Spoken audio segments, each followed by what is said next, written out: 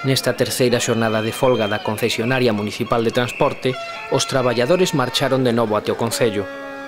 Demandan a reapertura das negociacións polo convenio, que Vitrasa paralizou logo de coñecer as peticións do comité.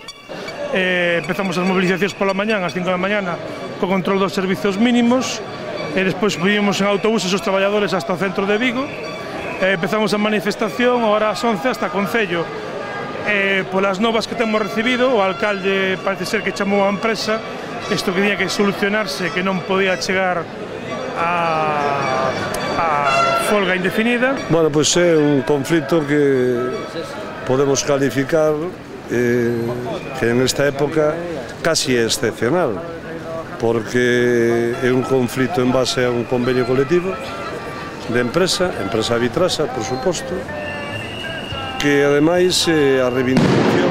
A reivindicación é prácticamente de carácter social. A empresa sigue pechada en banda, non quere sentarse a negociar este convenio, sigue pechada nas súas posturas intransixentes dende un principio e logo de 11 meses de negociación non demos avanzado absolutamente nada. As demandas dos traballadores pasan pola compatibilización horaria, a contratación de máis condutores, dous días máis de vacacións e unha suba salarial do 1%, inferior ao IPC. Recordan, ademais, que a empresa segue a obter cuantiosos beneficios. Pois sí, nós temos as contas hasta o ano 2010, al 2011 permanecen,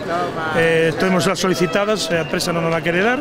E, bueno, nos estes últimos tres anos, a media era duns 3 millóns de euros e medio netos de beneficios, concretamente no 2010 3 millóns 700 mil euros,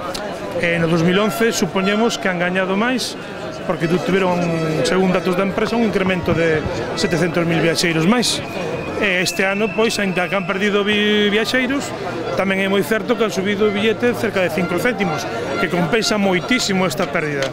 E por aí unha empresa que ten tantos millóns de euros de beneficio que recibe o ano 12 millóns de euros do Concello de Vigo non pode estar pechada como está en banda sin querer saber absolutamente nada deste tema nunha clara demostración de desprezo aos seus traballadores e traballadoras. A pesar de que hoxe chegaba a Vigo o director do Grupo Avanza, propietario de Vitrasa, os traballadores insisten en que a empresa segue sen vontade negociadora, Acusan tamén o alcalde de Vigo pola situación xerada e de impor uns servicios mínimos abusivos.